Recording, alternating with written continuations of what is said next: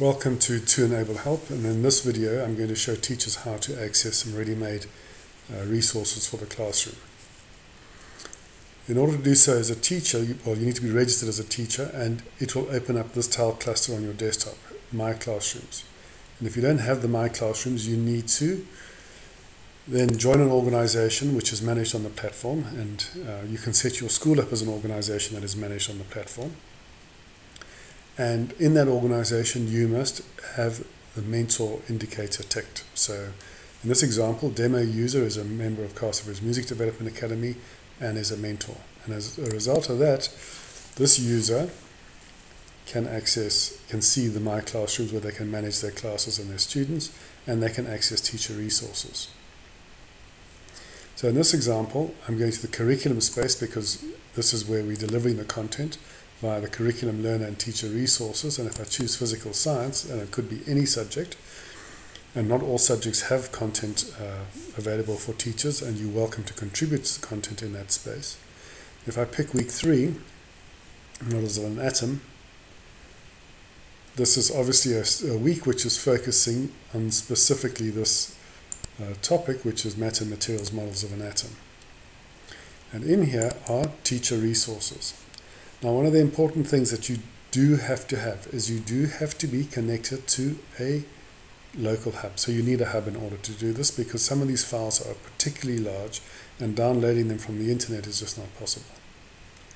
So for instance, if I wanted to use lesson one, I could download lesson one. There was that wasn't particularly big, but it was, and I can open lesson one.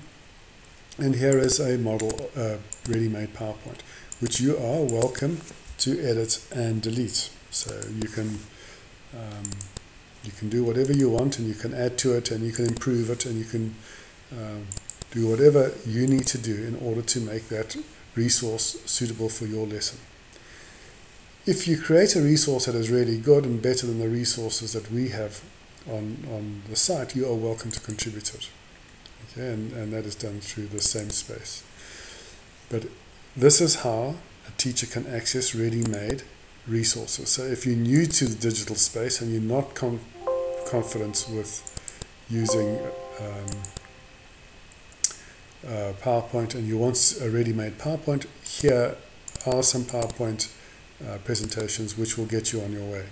And these PowerPoint presentations have in fact been used to develop the videos that we deliver in this space. So they're very similar and um, so as a teacher you can actually see how to use the PowerPoint and um, in terms of somebody using the PowerPoint, and then you yourself can use that same PowerPoint in your classroom. So you get the benefit of, of two spaces, one that you can deliver it yourself, and you can edit it and change it to yourself, or two, you can actually just use a video which we created from that PowerPoint.